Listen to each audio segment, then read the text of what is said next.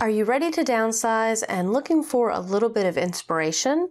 Well, today I've got a book for you called The Gentle Art of Swedish Death Cleaning, and it is a really unique perspective on downsizing.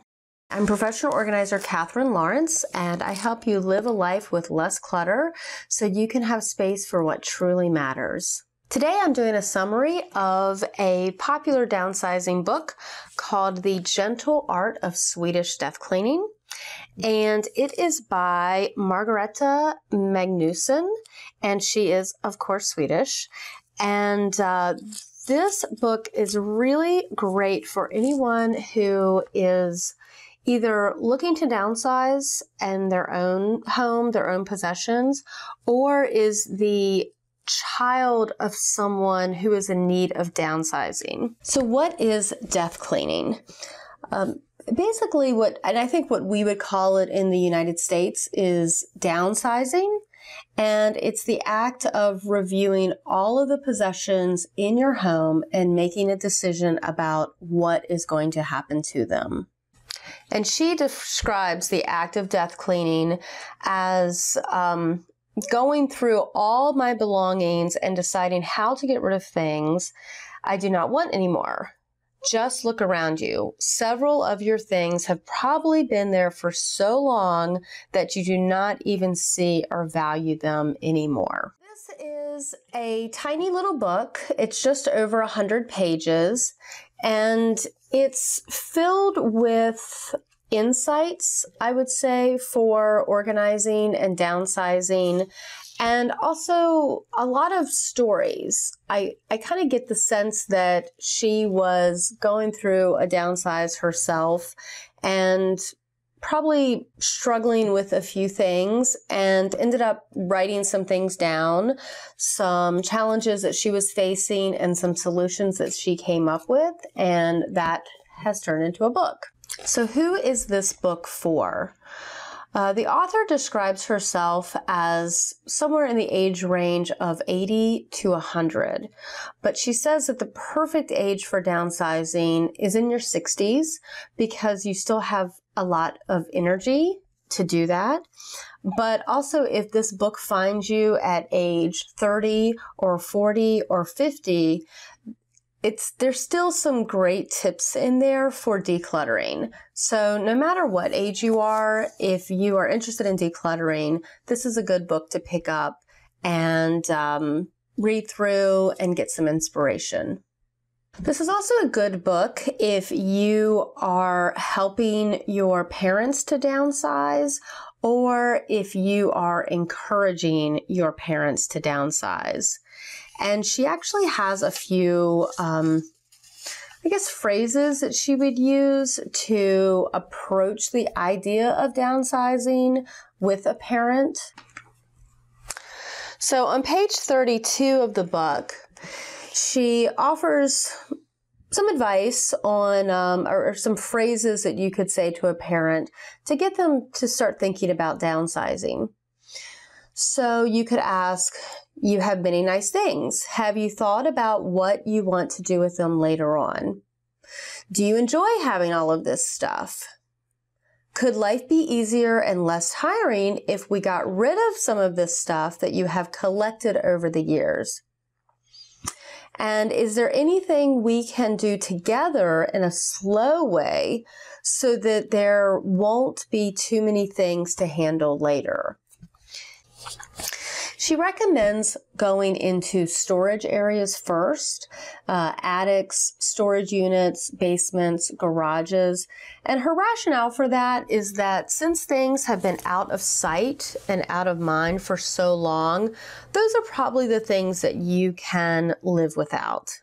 There's also a big theme in the book about not burdening the next generation with the things in your home that you want to have things in order um, instead of passing on a house full or a lifetime of possessions to the next generation.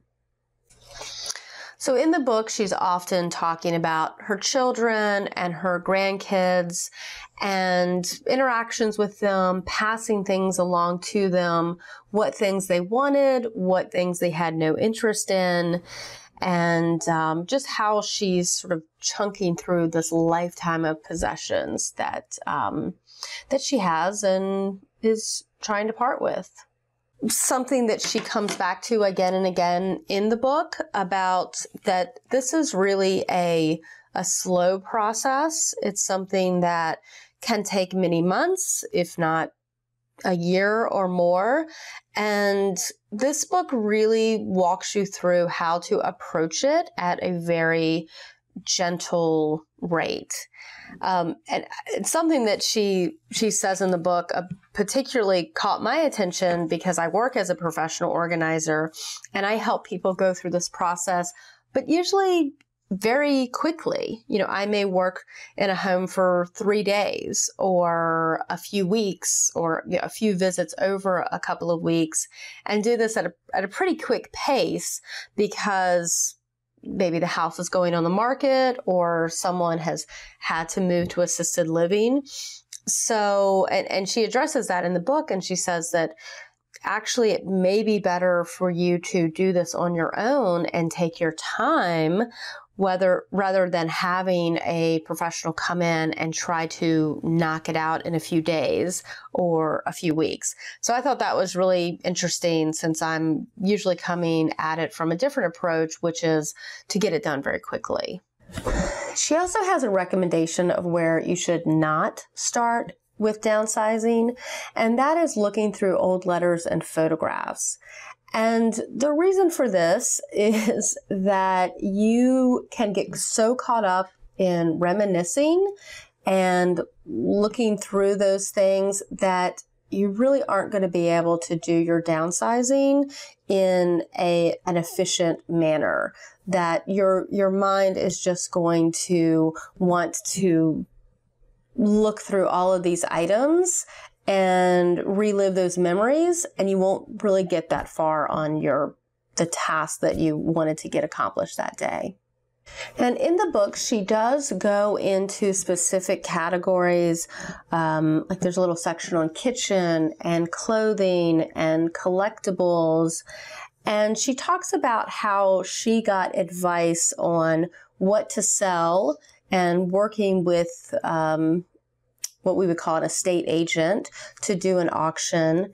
And um, how she found found unique ways to let go of things whether that was you know finding a specific agency that was interested in um, certain belongings and also approaching friends and uh, children about taking some things. And how important really it was to like tell the story of the item. So just this act of giving things away while you are still alive and that you can share that story when you're passing something along, um, that seemed to be really important to her.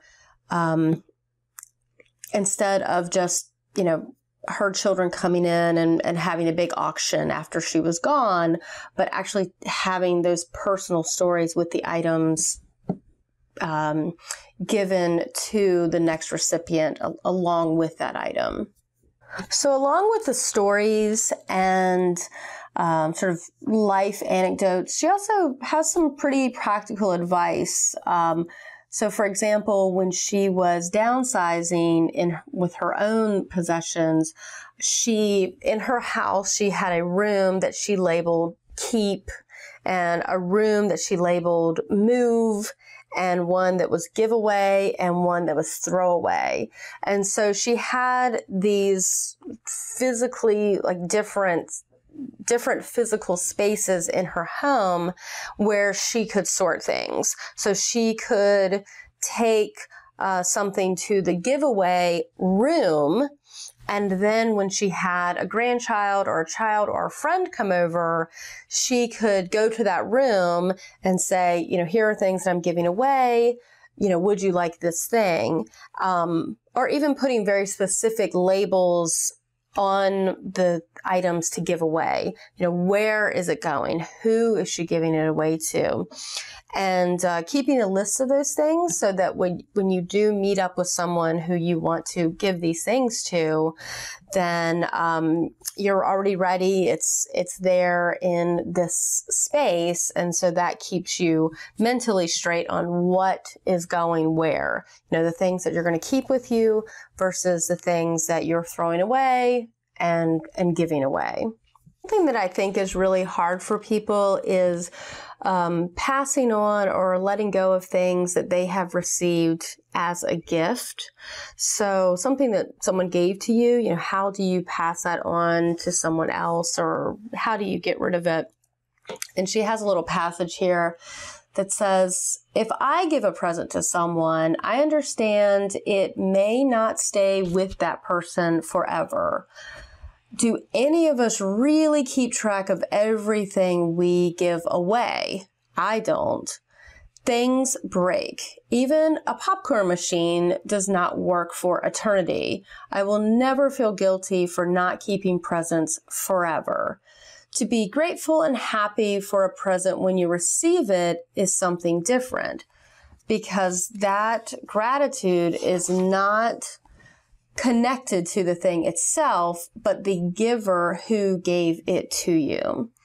And so I really like this point that you receive that gift and and that's really the important piece is you have gratitude from it uh, or for it and that someone took the time to think of you and give you this thing that's that's really where i mean that's the most important connection.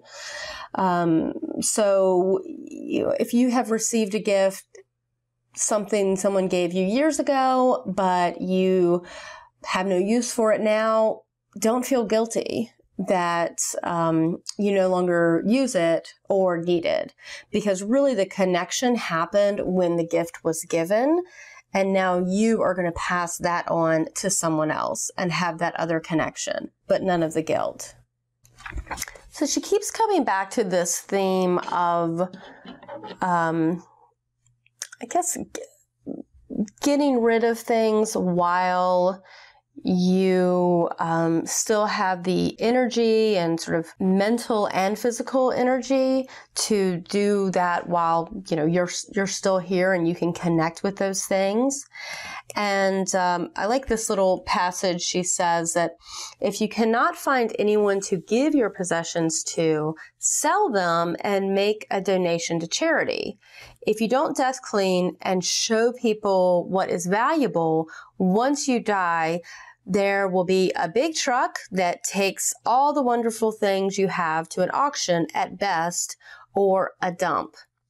No one will be happy about that. Well, the auction house might be. So I would say overall, this is a very cheery book, despite it um, covering such a, I guess, what can be seen as a certainly a very hard job to review all of your possessions um, and and face that. But you know, despite its title, you know, death cleaning, it is pretty uplifting. I mean, she tells some really cool stories, and you know, she reminisces about um, trips that she has taken with her family. And you know, as I was reading it, I was thinking that anyone who's going through a downsize, it may really be helpful to write down stories as they are downsizing because that's really what she's doing here is reminiscing about you know trips that the family took together or um, she talks a lot about her, her their dining table you know their kitchen table that they have all of these wonderful memories on. So it's it seems like that would be its its own technique is to actually write down stories or share stories while you're downsizing, whether you're taking a video of them or writing them down, not not really for a book to be published or maybe so, but just to process all of this you know, sorting and confronting all of these possessions and these things, and to actually write notes and interact with people and to tell stories. I would imagine that would be um, very therapeutic, and uh, it's certainly what she's done with this book. In some of her final thoughts, she says, um, In this book, I wanted to get you started with your cleaning and making you feel good when you think of all the hours you will have saved your loved ones because they will not have to use their precious time to take care of stuff you do not want yourself anymore. Well, I hope you've enjoyed this summary of The Gentle Art of Swedish Death Cleaning. Uh, this book is available on Amazon. There's also an audio version of the book, and you can get that on uh, audible.com or also through Amazon. And uh, it's a pretty quick listen. I think it's about two hours long. And uh, I would definitely recommend this for anyone who is going through a di- downsize themselves or encouraging uh, parents or friends who are going through downsizing. I think there's a lot of good inspiration there and some fun stories. And um, she hopes that it's a you know a light book, even though it's a pretty heavy topic. And I, I think she accomplished that. So, uh, hope you pick up a copy, enjoy that, and uh, happy organizing.